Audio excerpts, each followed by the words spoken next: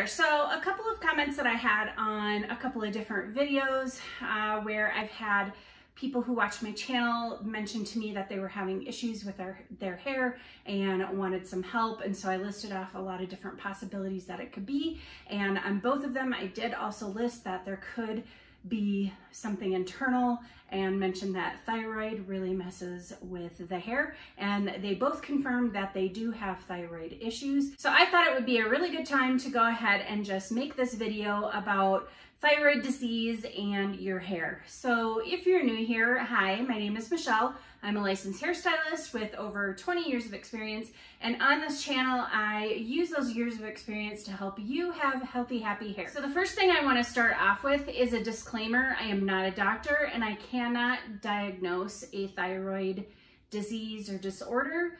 Uh, you do need to go to a doctor and have blood work in order to get diagnosed. This is not a video that is intended in any way, shape, or form to diagnose any kind of a medical problem. This is just to help you become aware that maybe something that you might be struggling with could potentially be because of thyroid disease and maybe it is time to head to the doctor to find out. Let's start with the types of thyroidism and how they affect the hair. So you have hyperthyroidism. And when you have that one, your hair might become finer and more brittle. If you have hypothyroidism, your hair could become coarser and it could become really rough and wiry and dry and basically a lot of the things that are attributed to gray hair is what you will find with thyroid issues when you on your hair when you have thyroid issues which is why in my myths about gray hair video, I did mention that gray hair is not automatically wiry and maybe it's medical conditions that might be causing it and the gray hair and the medical condition are just happening concurrently and that's what the issue is. So if you're interested in that video, I will go ahead and put a card up here so you can check that one out. But in this one, I'm gonna be strictly focusing on hyper and hypothyroidism. And aside from the texture changes that both can cause to your hair, both can also lead to hair loss. So, and whatever other issues that it can cause in your body for sure. So it is definitely something that you're gonna wanna go in and get checked out. But if you've been experiencing, you know, dry, brittle hair, hair that feels like it has actually hard water uh, mineral buildup on it, um, it's stringy, it's not clumping, it's not curling properly. Maybe you've lost your curl or it's gotten tighter, or like I said, with the wiry and the dry, or it feels really, really rough. And it's a very distinct texture. I noticed it on, because clients tell their hairdressers literally everything. They like, we know their medical history half the time. We know where basically all the bodies are buried.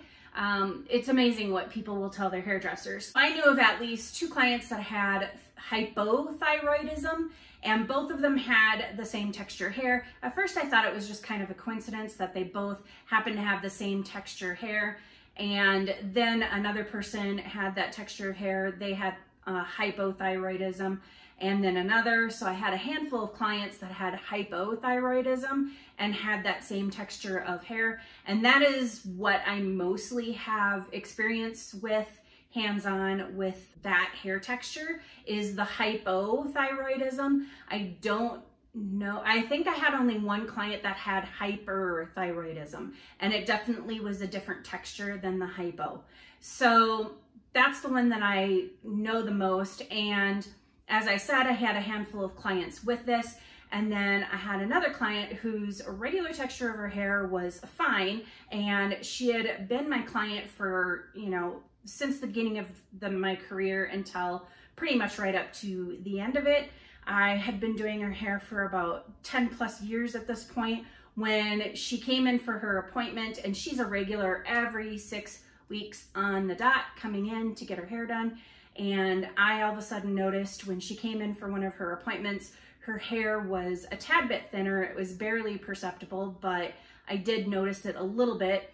And then the other thing that I noticed is that I started feeling uh, that texture. And like I said, it's really distinct and it's hard for me to describe, but it is different than rough because of damaged hair or the like hard water mineral buildup. Like it'll mimic those things, but it feels definitely different and it's very distinctive. And so I started feeling that on her hair. And because she had been a client of mine for so long, I said, you know, I apologize. I don't mean to sound nosy or, you know, stick my nose in it. And you can, you can not answer this if you don't want to, but do you have hypothyroidism? And she kind of looked at me and she's like, no, why? And so I went, I started to explain what I was noticing with her hair and how it was similar to my other clients who had a known thyroid condition. And she's like, oh, she goes, you know, I was thinking my hair felt a lot thinner, but I thought it was par just me being paranoid because it wasn't a lot, like, but it seemed a little bit thinner. So her next appointment six weeks later, she comes in and she's thanking me because she went to the doctor she got some blood work done and she was diagnosed with hypothyroidism. So for me, when she was diagnosed and I had all those people with all of the hair feeling the same way that it definitely made that connection for me. And I do believe that it is now an actual connection. It might have been back then. I you know, we didn't have as easy access to Google and everything out on the internet as what you do now back when this happened. And I mean, it was there, but not just like it is today, because this was years ago. But I do believe that it is now, that it is and probably has been a confirmed connection, but I also don't think it's one that a lot of doctors discuss with their patients. And I'm not going to say across the board that doctors do not discuss this with their patients because I don't have privy to those conversations. But just the fact that people were unaware of it back then throughout my career behind the chair and that people are uh, unaware of it even today, that maybe it's something that's not being discussed. So I just wanted to put this out there just to kind of help people if you are experiencing some problems with your hair, you're noticing some big texture changes, you're having brittle hair, fine hair, or if it's coarse or it's wiry or really dry or stringy, and nothing you do seems to be working. So you've tried clarifying, you've tried deep conditioning, you've tried protein treatments, you've switched products, you've tried literally everything that you can think of under the sun and nothing is seeming to work whatsoever. There is a very good chance that it might be your thyroid or something else that's medical. At the very least, it's it may warrant a trip to the doctor because it doesn't hurt to go in and get blood tests done just to be sure, but waiting is probably not the best idea. So that it could because then you're not getting treated for something that you could be getting treated for. So this is mostly just to put it out there that if you have tried absolutely everything and you are still noticing these issues with your hair, then you may want to go to a doctor or if you have been diagnosed with a thyroid issue and you've been noticing changes in your hair and you're not sure what it is, chances are really good that that's what's causing it is the thyroid issue. Now, that doesn't mean that's the only thing that can affect your hair because a lot of other things do. And I can't, like I said, I can't diagnose and it does have a very distinct feel, so when I feel it, I definitely know it. However, that is not an accurate way to diagnose. It's just something that I have noticed over years of working with people's hair.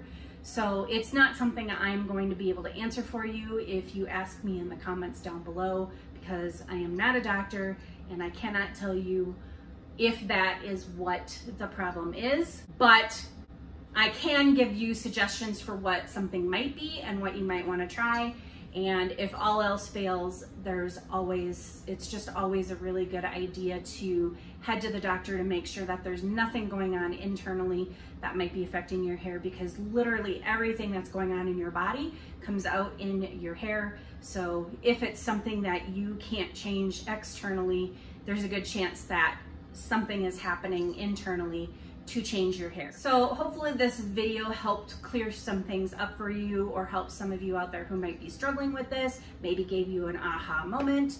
And hopefully if uh, you are struggling with this, that maybe it inspired you to head to the doctor, that would be wonderful as well. And that would mean that I have accomplished my goal, that I have helped somebody out there uh, get some understanding about their hair and potentially take care of a medical problem. If you like this video, please go ahead and hit the thumbs up button. If you'd like to see more content like this, please go ahead and hit the subscribe button, hit that notification bell while you're at it.